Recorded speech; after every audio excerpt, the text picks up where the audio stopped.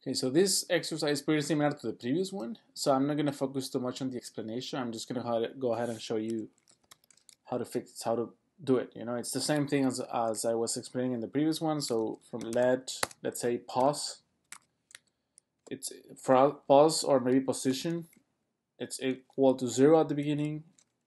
No, because they, they want us to loop from 7 to 12, right? So I'm not going to start at 0. I'm going to start at 7 and then to 12, right? So as long as position is less or equal than 12, and then, then I'm, I'm gonna make position to be um, equal to whatever it was before plus 1.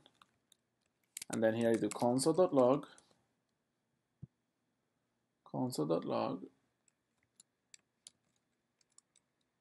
position. Let's see what it prints and 7, 8, 9, 10, 11, 12. 7, 8, 9, exactly what they wanted us to do. Let's test that out. And there it is. Everything is as expected.